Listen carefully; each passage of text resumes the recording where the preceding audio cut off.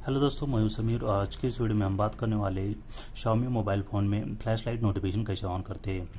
अगर कोई incoming call आता है या एसएमएस आता है तो पीछे की तरफ़ जो फ्लैश लाइट है वो कैसे ब्लिंक करे, ये आज हम इस वीडियो में सीखने वाले हैं। तो सबसे पहले क्या करना है, आपको जाना है कॉल लॉग में।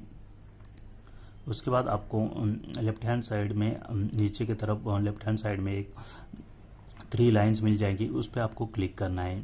यहाँ पे क्लिक करने से आप पहुँच जाएँगे मेनू ऑप्शन में यहाँ पे सेटिंग्स और सेटिंग का ऑप्शन आपको मिल जाएगा। यानी कि ये कॉल सेटिंग है तो इन शॉर्ट आपको कॉल सेटिंग में जाना है सेटिंग पे क्लिक करके।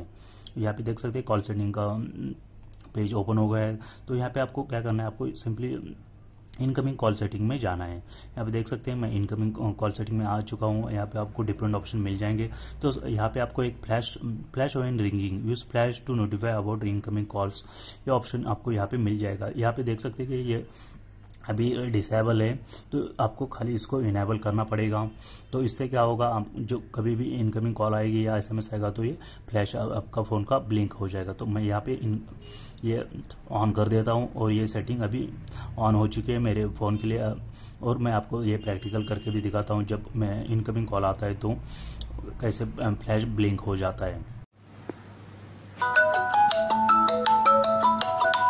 फिर आप किसी भी शॉमी मोबाइल मोन में फ्लैश लाइट नोटिफिकेशन ऑन कर सकते हैं।